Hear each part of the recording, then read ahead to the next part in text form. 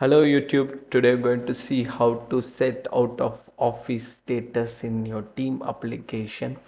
Uh, when you're going for vacation or in or personal leave, you want you can use this uh, functionality of setting out of status. So you can see here currently my status in this particular uh, Teams application is available. Now I'm trying to change the status to out of office and I don't have an option here. I tried to write some text but that it doesn't work. So what you have to do is you have to go to your Outlook and you have to go to settings and view Outlook settings. Here you have to go to mail settings. From mail settings you have to go to automatic reply. Here just turn on automatic replies.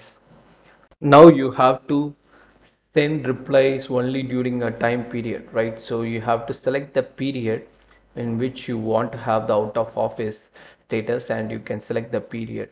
So here you can also mention the text what you want to have when you are out of office. There are other settings like you can block your calendar or decline any meeting request automatically. So you can use that optional settings and save the request.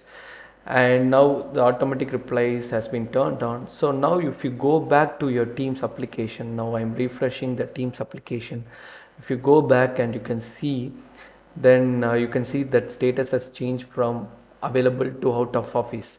And what you have to do is you have to click on appear offline so that that purple color will appear on your profile picture.